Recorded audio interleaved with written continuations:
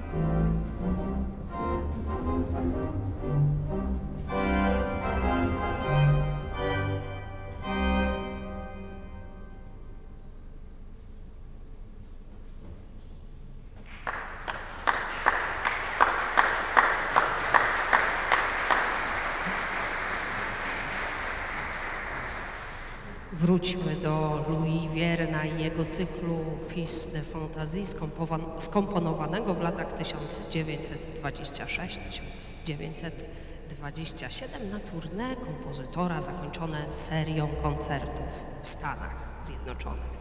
Wiern zbierał wówczas środki na renowację monumentalnego instrumentu Astrida Cavaillé-Colla w paryskiej katedrze Notre Dame, gdzie był organistą.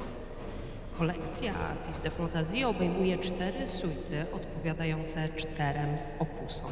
Każda z nich składa się z sześciu utworów i pokazuje wielorakie możliwości wielkich, romantycznych organów symfonicznych. Tytuł cyklu nawiązuje do Roberta Schumana, którego Wiern uważał za największego z muzyków. Hymn do Słońca, który otwierał dzisiejszy koncert, pochodzi z suity drugiej, subtelne preludium natomiast, które usłyszymy za chwilę. W tempie Andantino i tonacji C-dur, rozpoczyna całą kolekcję, a więc pierwszą suitę opus 51.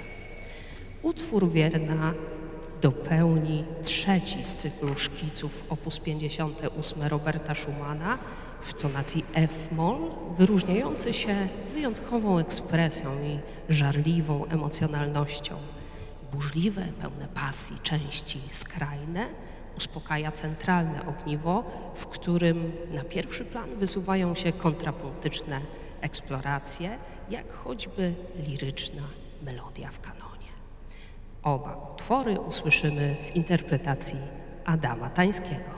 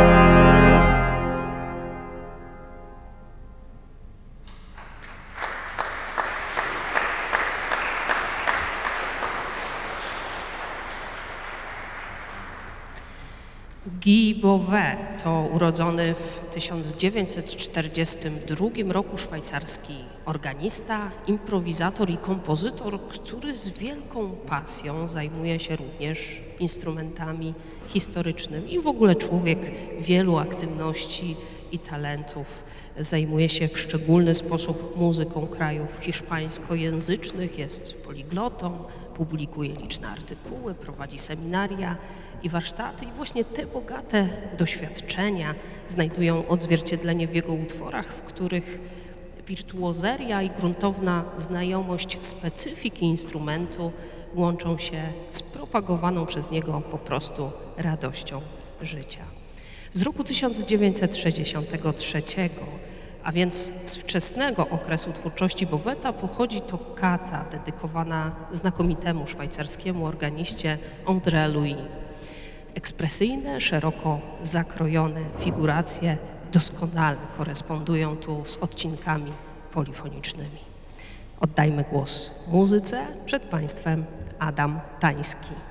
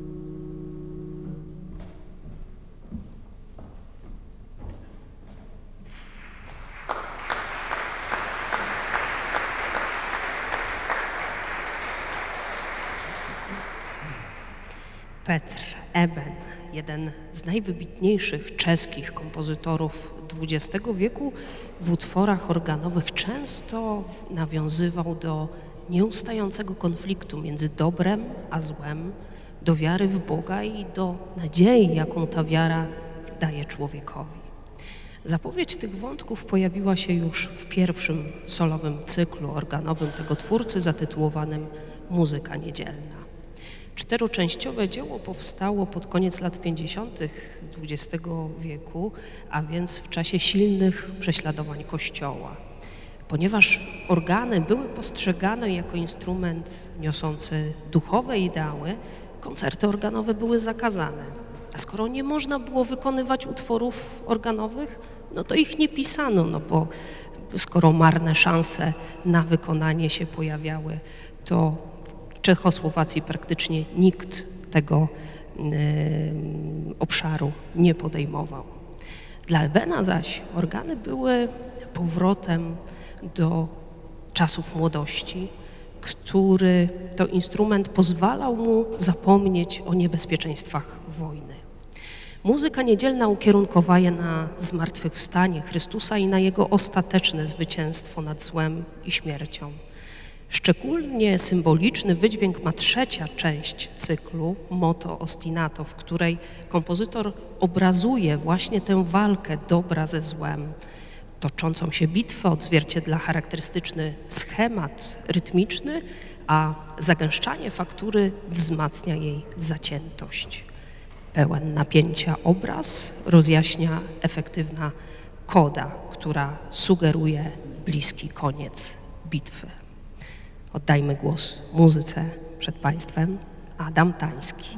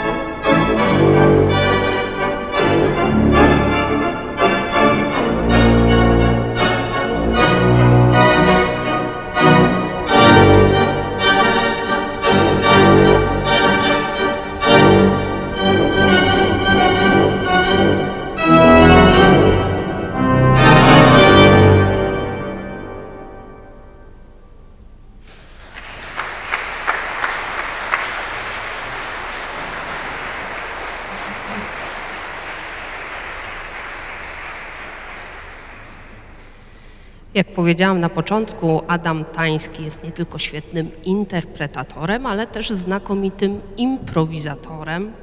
E, I w tej odsłonie pokaże się za chwilkę, bowiem zwieńczeniem wieczoru będzie improwizowana symfonia na 110-lecie organów Friedricha Weiglego. Improwizacja jest tworem powstającym tu i teraz, ale opartym na konkretnym planie, na konkretnych założeniach, o których teraz opowie Państwu sam artysta.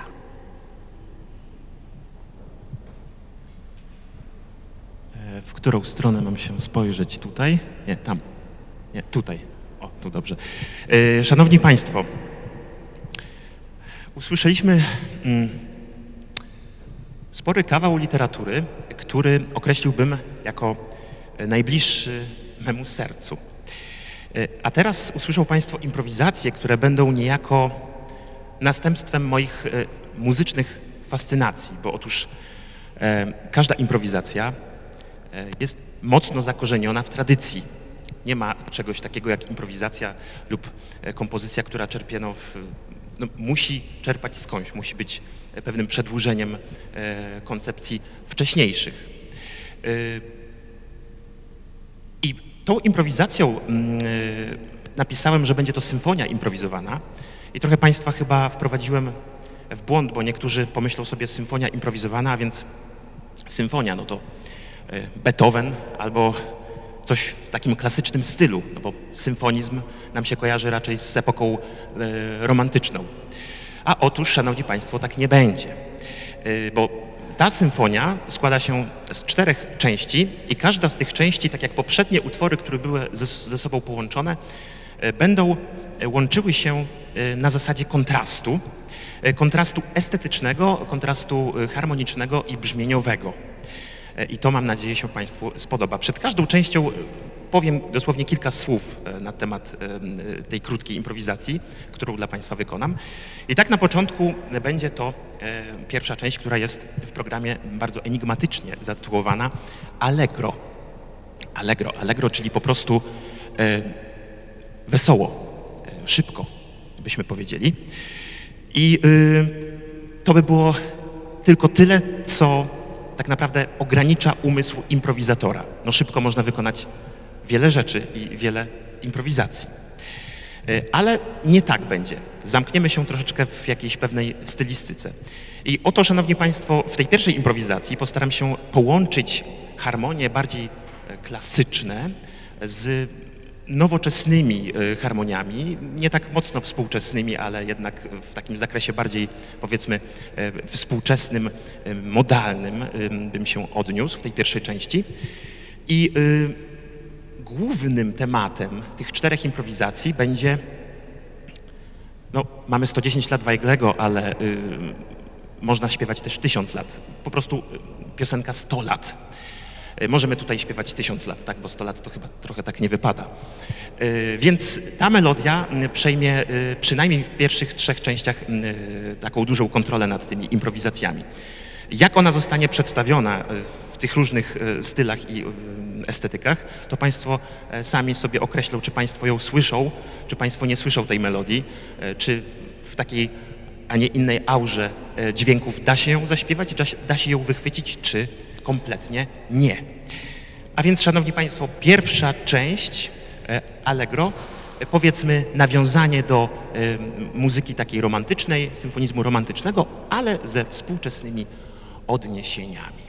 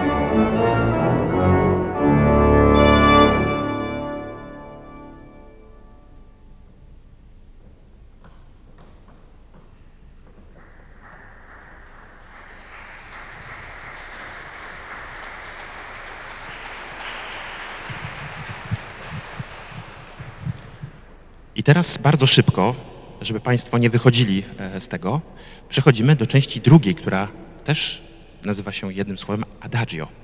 I to adagio będzie już zupełnie innym chwytem. Tutaj e, przemówi do nas minimal music, a więc co to znaczy? Mm, postaram się dla Państwa wykonać e, dzieło muzyczne jak najmniejszą ilością e, środków muzycznych, Mm, więc będzie duża powtarzalność, e, będzie dużo repetycji i jakby bardzo mało zmian, czyli taka muzyka minimalna. I tutaj proszę też słuchać uważnie, gdzie mamy temat.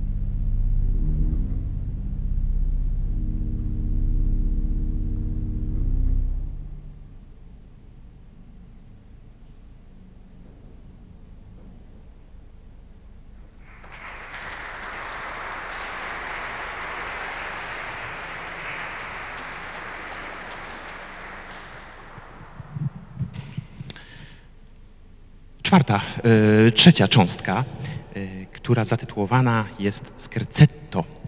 I żeby wydobyć y, sens tego znaczenia, więc coś, czym się człowiek bawi, delikatnie się bawi jakąś zabawką, człowiek najczęściej bawi się, kiedy tańczy.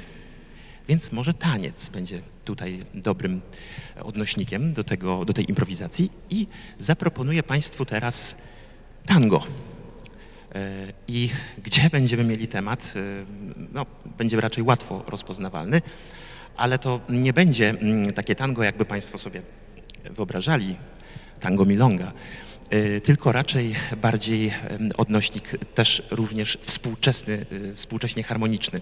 Bym tutaj szukał języka bardziej współczesnego. A więc scherzetto w formie tanga.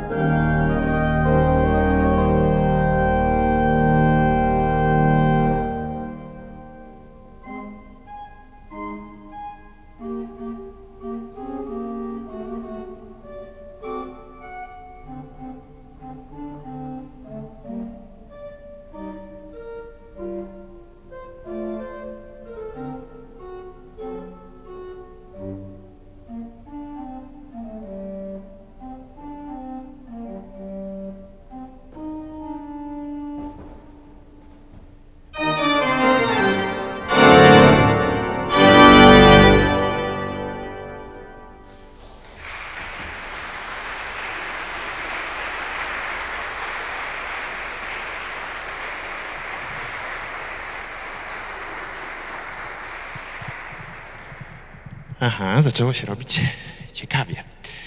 Y, A tutaj ostatnia część improwizacji. I na końcu mamy allegro appassionato, a więc szybko, radośnie, ale z pasją, z namiętnością. E, I tutaj y, na końcu y, zagram coś w stylu, powiedzmy, tokaty, używając pewnych takich współczesnych skal, y, które, no, których na co dzień nie słyszymy w radiu y, i na co dzień może nie, uży, nie używamy śpiewając, y, ale są to skale y, w pojęciu takim muzycznym nazywane modusami, modusami mesjanowskimi. E, Oczywiście nie tylko z tego skorzystam.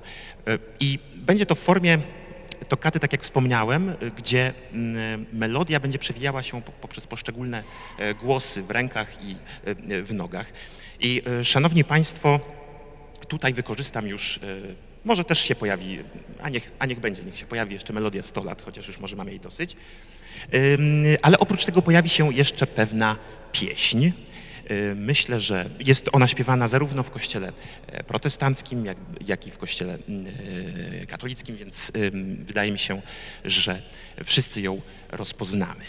A więc tym ostatnim utworem żegnam się z Państwem, Allegro Appassionato i e, dwie melodie, które się będą tutaj w tej tokacie końcowej pojawiały.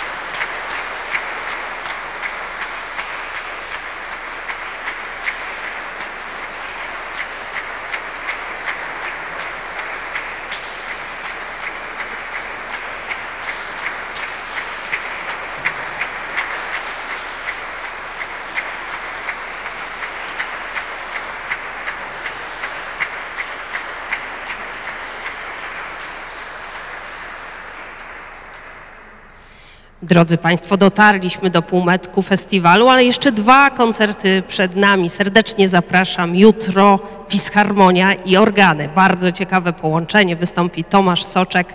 Mam nadzieję, że widzimy się o 19.15. Bardzo dziękuję. Dobrej nocy. Do jutra.